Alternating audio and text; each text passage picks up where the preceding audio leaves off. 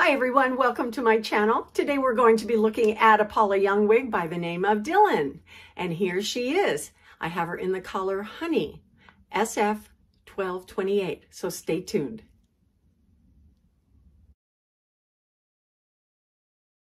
Hi everyone, welcome back. My name is Coco and it is a beautiful day in Coco's Hair Solutions. Today we're going to be looking at a Paula Young wig by the name of Dylan and this is her. She's got lots and lots of curly wavies going on, a long side swept bang and she is very similar to this young lady who is Rosalie.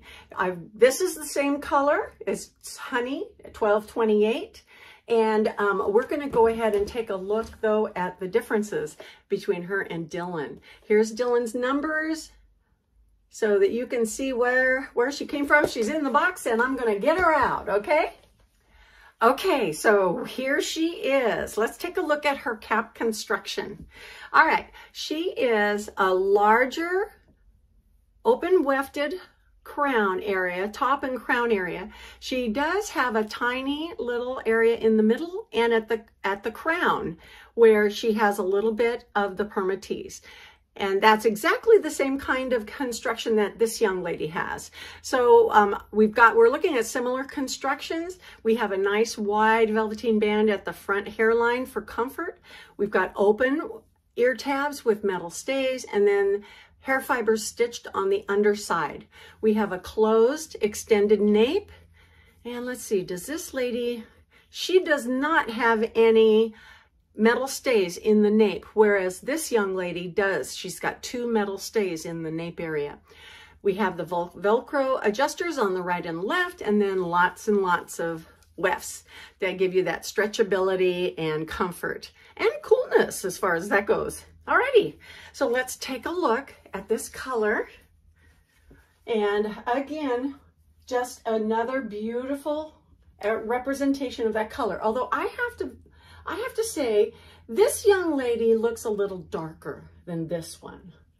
And so we might see some differences in those um, in similar wigs or between wig from wig to wig. That could be because it's manufactured, one, one wig is manufactured in one part of the world, and then the other wig is manufactured in another part of the world. That could be part of it. It could be completely different dye lots between one wig and then the next one when they were doing the same colors.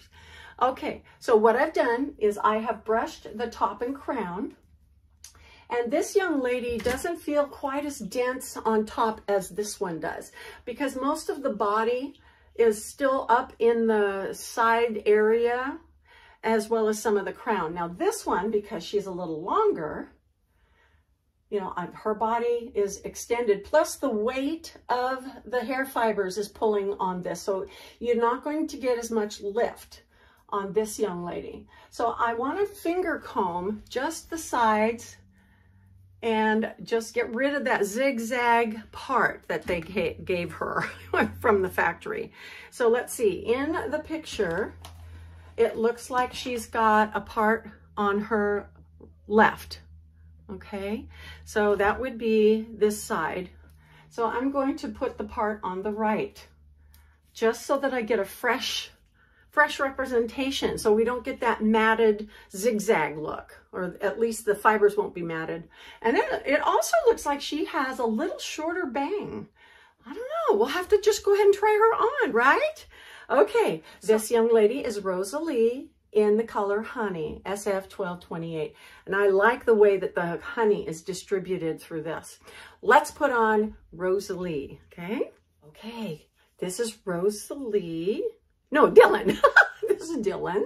Okay, she's a bit longer. And her curls are a lot looser. A lot looser. Much longer. Okay? And her bangs look like they could, instead of just being an off to the side, they look like on me, they they're they could be just left with where they are. All right, so let's take a look. Okay, I've done some finger curl. I think this side has a little bit more of a brush out and we might need to add water to let her kind of get back into her barrel curl. See, yeah, she's starting to get back in there. So it might just be the fact that I was changing the part and I pulled up some of the hair fibers and that were already settled in here and moved them over there. All right, so let's take a spin, all righty? So this is Dylan. Okay, lot a little bit longer, past my shoulders, lots of bouncy barrels, barrel curls.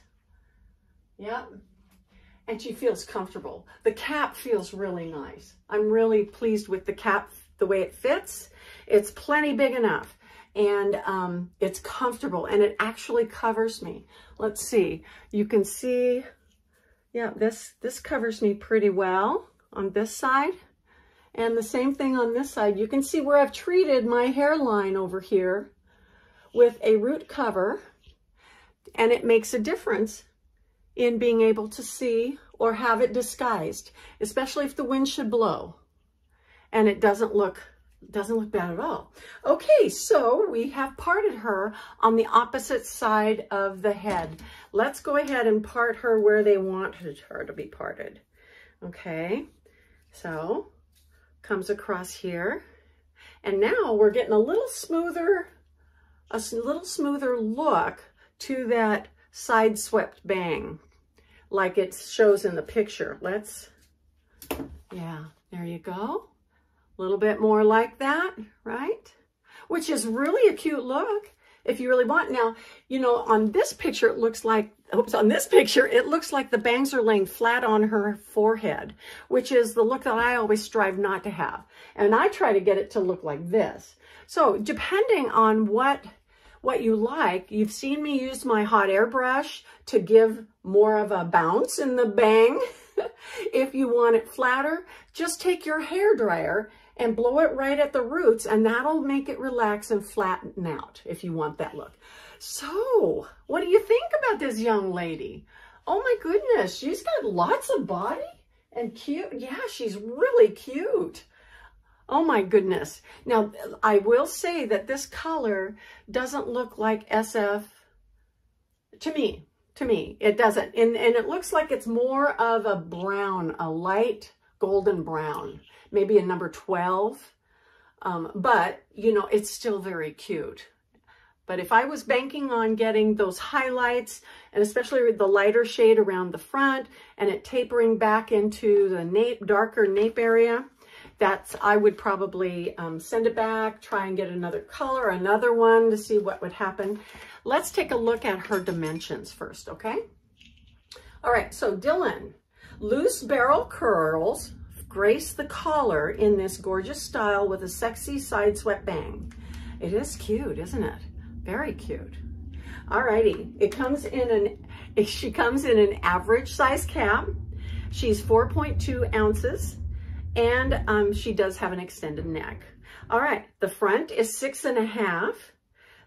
The top is nine and a half. The crown is ten and a half. And the upper back is ten and a half. So that's where you get all of that smooth length before we start seeing these barrel curls. So this, this is a great little wig. You could wear this to work easily and not worry about anybody knowing what it is. Now, leaning forward, the hair doesn't fall into my face at all. It just stays there. Okay. She um, has 11 and a quarter inch sides, and then the nape is eight and a half inches. She comes in 21 colors. So that's, she's a universal girl. Okay, so I can see some of the highlights now that I put my glasses on. anyway, but you can see some of the highlighting that would be um, indicative of the honey color, the SF12. But I, I would prefer to have it a little bit more pronounced myself, personally. But this is a cute little girl. Cute little girl. Long enough to put into pigtails. Isn't that cute? And still have good coverage in the back. cute. Or put her in a low pony with a pretty barrette or put her in a half up, half down using another pretty clip. Oh my gosh, the, the possibilities are endless. And how could I possibly show any kind of accessory without my square bands? This girl is perfect for square bands and you could have her in every color. Well, if you like a longer barrel curled young lady with a bang, but not too long, this is a great wig. This is Dylan from Paula Young in the color Honey, SF1228. Well, this does it for our young lady Dylan. Isn't this a great surprise? So, wonderful length, beautiful barrel curls. You don't have to do anything with her other than put her on and go. So thank you so much for joining me today. I hope you enjoyed it. We will see you next time in Coco's Hair Solutions. Bye-bye.